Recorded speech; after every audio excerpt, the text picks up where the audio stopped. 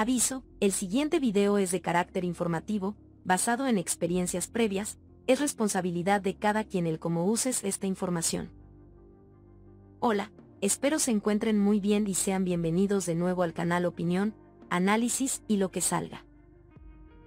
Es un gusto estar con ustedes de nuevo, ya estamos en marzo y este año nos ha sorprendido con tantas cosas, como lo hizo la Administración Nacional de Aeronáutica y el Espacio, más conocida como la NASA, ya que dio a conocer el primer video del aterrizaje de un robot explorador en el planeta Marte, el video es sorprendente. Si aún no lo has visto te dejo un link en la descripción para que puedas verlo en HD y a todo color. Es un gusto vernos de nuevo en esta semana que es tan importante, ya que está empezando la tercera quincena para muchos de los supervisores electorales y capacitadores asistentes electorales. Muchos otros, se dieron cuenta de que tal vez este trabajo no era lo que buscaban, o no se acomodaba a sus tiempos, necesidades, o simplemente no les gustó, y eso también es bueno ya que te quitas de un pendiente y tienes toda la libertad de dimitir. No es bueno sentirse presionado para hacer algo que no te guste, nadie debe de reprochar o criticar tu decisión de dejar el trabajo.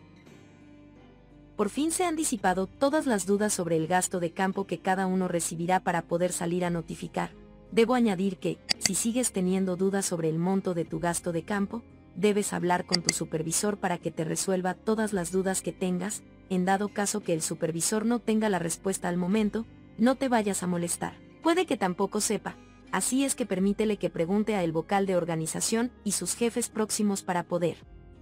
corroborar esta información.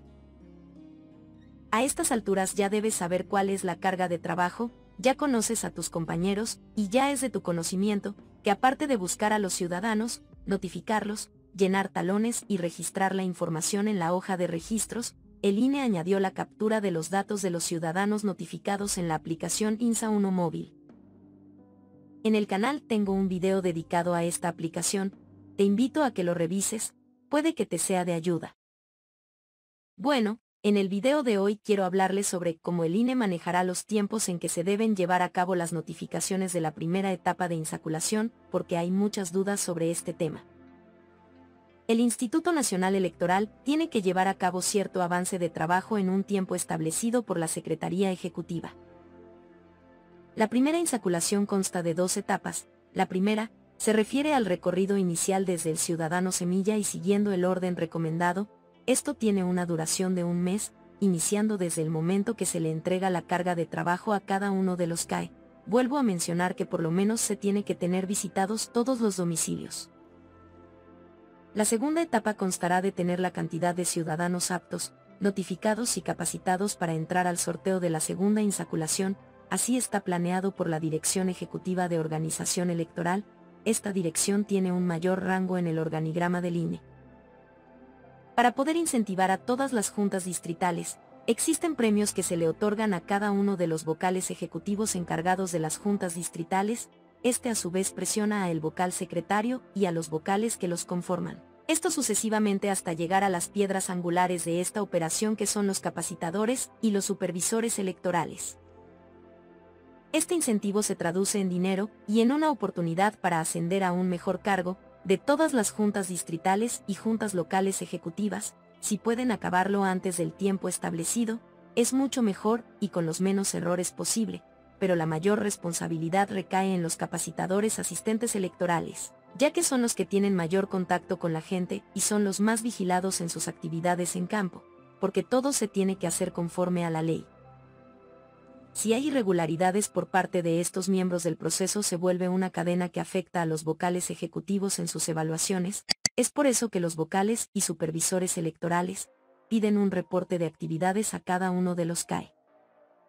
Debo añadir que los CAE y se también son acreedores a un premio al final del proceso. En un próximo video hablaré de este tema. Dejemos esto en claro, la carga de trabajo que se está pidiendo es bastante y hasta molesta en algunos momentos. Seamos honestos, a nadie de nosotros nos gusta que nos estén presionando en un trabajo que sabemos y entendemos que debemos hacer. Pero esto es para poder tener ubicados los domicilios de todos los ciudadanos sorteados que están en la lista que se te entregó cuando se asignaron las ARES, y al menos tener llenado los talones de visita que viene en la carta notificación. De ahí se desglosa si se pudieron notificar y capacitar normalmente o si se cumplían algunas situaciones por las cuales no se pudo localizar al ciudadano o de plano rechazó la notificación, si tienen más de 60 años, etc. Esto sirve como un filtro, para saber con cuántos ciudadanos aptos se puede contar.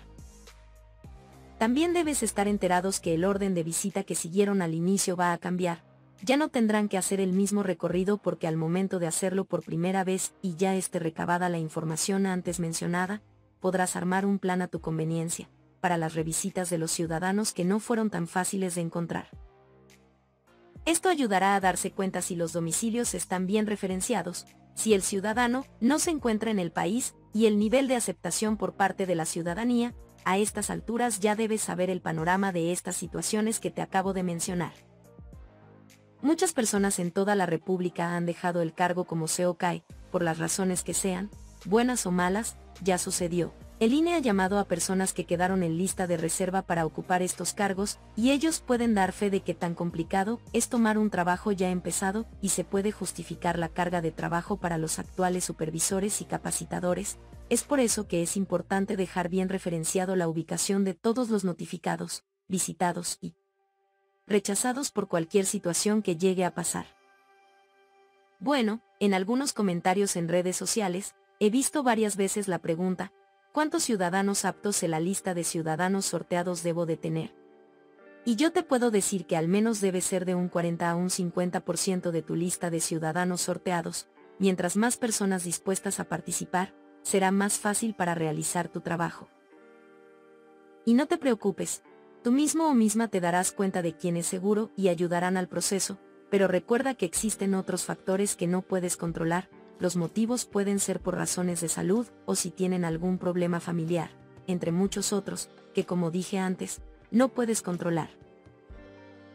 Otra de las cosas que he visto que hablan o preguntan sobre abrir la lista nominal esto se refiere a la remota posibilidad de que la mayoría de los ciudadanos sorteados que nacieron en los meses de septiembre y octubre de un área de responsabilidad electoral, no cumplen con los criterios para participar como funcionario de mesa directiva de casilla. Esto va desde que no están en el país, no saben leer o escribir, no pueden participar por cuestiones de salud o rechazos masivos.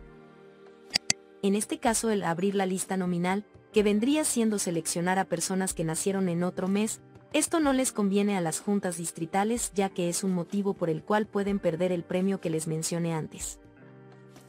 La opción que van a tomar es que a toda aquella persona que rechazó rotundamente se tiene que convencer, para esto el CAE junto al C deben armar una estrategia para crear conciencia y convencer a los ciudadanos que rechazaron a como de lugar. En el caso de las personas mayores a 60 años, se considerará cuáles son los mejores candidatos y se volverán a visitar para preguntarles si les gustaría participar. El hecho de abrir la lista nominal es muy raro que suceda, puede pasar pero.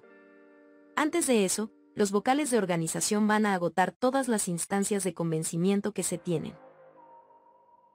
Bueno, creo que hasta aquí dejaré el video de hoy, espero te haya gustado, no olvides dejar tu me gusta y déjame un comentario sobre cómo vives el proceso en tu localidad, también te pido a que me ayudes a compartir este video para que llegue a más gente que crees que lo necesite.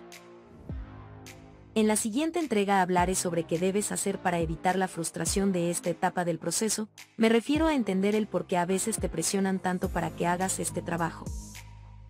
Te agradezco mucho por ver y por tu apoyo al canal, nos vemos pronto y recuerda que, seguimos en contacto.